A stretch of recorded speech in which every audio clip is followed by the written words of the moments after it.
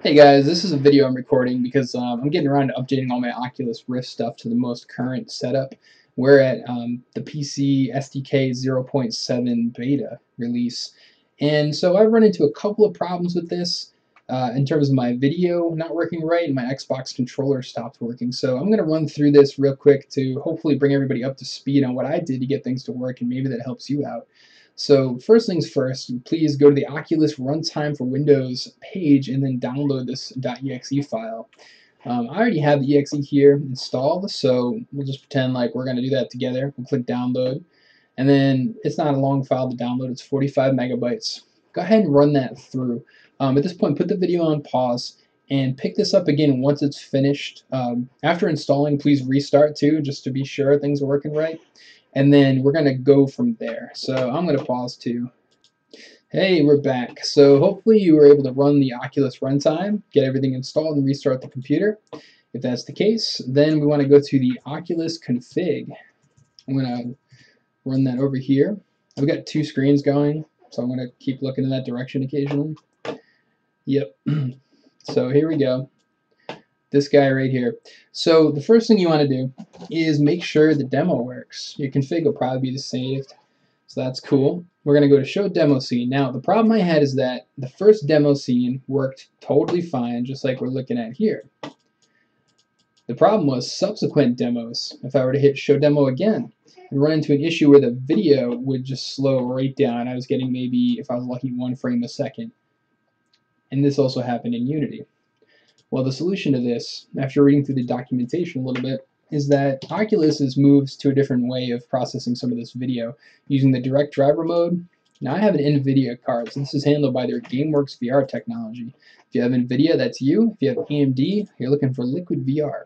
Make sure you have not only the most recent updated drivers, but search specifically for the virtual reality drivers. For example, uh, this is the NVIDIA GamesWorks page for the GameWorks D uh, VR driver support. It's always something, isn't it? So I was able to find this and download that. I recommend you do the same thing too if you're developing VR on an NVIDIA card. So um, here's the link. I'm using Windows 10. Here's also Windows 8 and 7 down here. Go ahead and download that, run it, install it, and reset. And um, go ahead and pause the video. We'll pick it up again once all that's all set. Okay, we're back. So um, something I'll just mention quickly is when I did this the first time, uh, the Oculus did show up under display settings vertically like it used to until I restart the computer. So after reinstalling, I definitely recommend that restart to clear the system out. Okay, so we've got that working. After that, let's go back to the Oculus config. Oculus config. There we go and then just verify that things are looking good. So show demo scene should load up with no problems. should be running nice and fast. Yep, see this is looking good. And then to make sure the problem's gone, I'll run it a second time. Mine was freezing at the second run, not the first run. And then we can see, at least in this case, the GameWorks stuff is working perfectly. Great. So once it's working in the config, then we can reliably move on to Unity. Now, there's something I want to demo in Unity before we dive right into it. You're probably familiar with the Oculus utilities for Unity 5. Oculus, um, excuse me, Unity has been doing a lot of great work recently with adding their own VR support. So just to demonstrate this, I'll go into a brand new project and we'll call this whatever. And then um, okay here it is. So we're able to now do Oculus Rift development in the preview uh, and in the game window here in real time by first setting it up. So if you go to edit and then project settings and then go to player and then look on the right hand side scroll down to other settings and then under rendering down at the bottom you'll see the virtual reality support option. Check that on. Now with the Rift still plugged in, we just did the config so everything's good. Uh, I'm going to press the play button and what you can see now is that we have Oculus Rift in the preview. Oh my god is that convenient. So now you can build, build, build, test, test, test. No more having to actually build out a project. So that's great. So right there you can start to program for Oculus Rift, but I kind of like this uh, kit they have here because this gives me the Xbox One controller support right out of the gate. I don't have to rig that up myself. But in order to get that to work, we actually have to update to the most recent version of Unity. Um, so this is because I think they added the OVR input API. It's an alpha release, so I think with the old version stuff, it wasn't quite compatible. So um, what they tell you if you dig through the documentation far enough is that you need the most recent version of Unity. And the recent version they are referring to is actually version 5.2.1p2, which came out yesterday. So I recommend coming here and updating your version of Unity. I click this link here to Unity Editor Download Assistant. Um, and I let the whole thing run. It takes about it's about six gigs, so it takes a little while to download.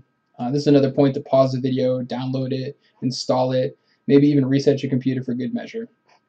I'm going to pause the video. Uh, when we pick back up, we'll get into it right after your install is finished. Okay, we're back. Hopefully you've got the newest and greatest version of Unity installed, and we're about ready to start doing the Xbox controller section of this. Alright, so I'm going to close this window out and just reduce it down to the second piece we're going to need for this equation. And that is the... Looks like I closed that window. Here it is, Oculus Utilities for Unity 5. Go ahead and download that. Now this goes quickly, I'll just let it download. Um, you get this zip file here. So there's two steps to this. Essentially what's in the zip file is this package that you just double click to install and that's going to give us the, the components we need. And there's this project settings folder. Inside the project settings folder is the input manager along with some other files.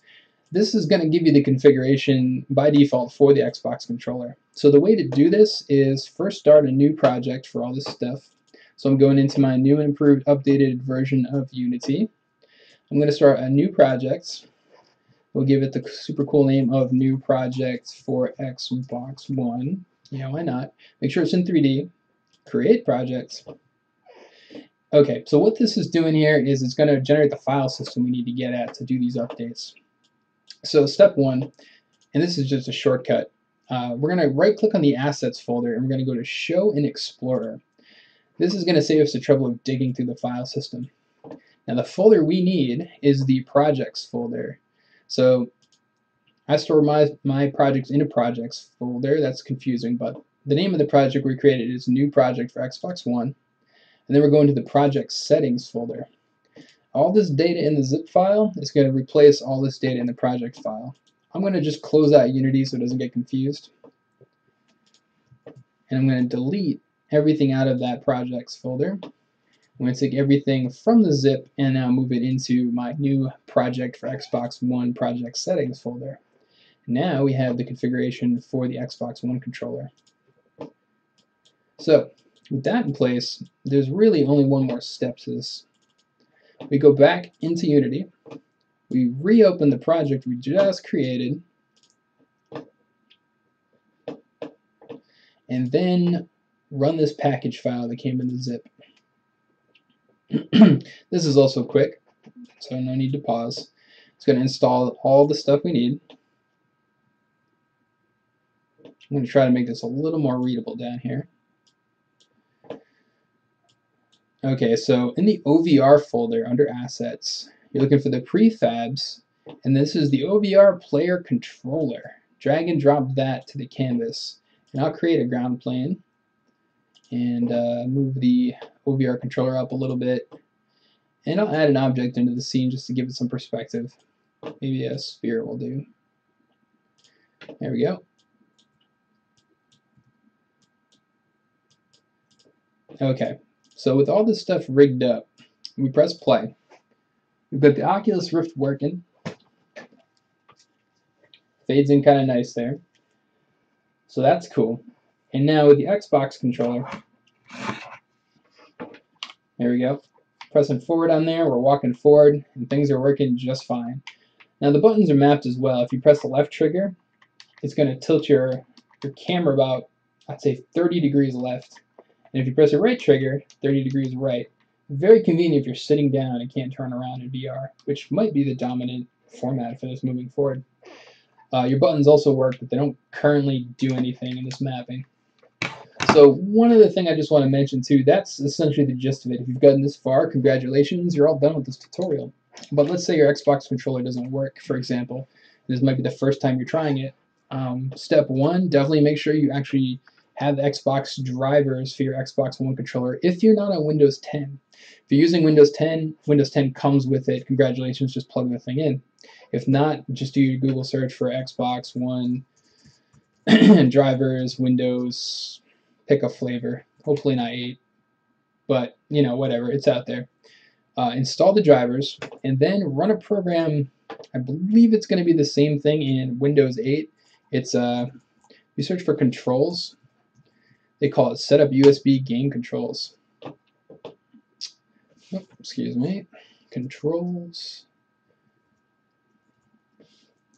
Here we go. Make sure I'm clicking on the right thing here.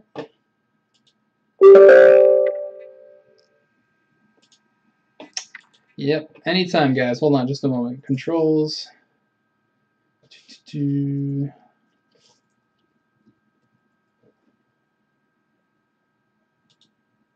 Here we go. Sorry about that.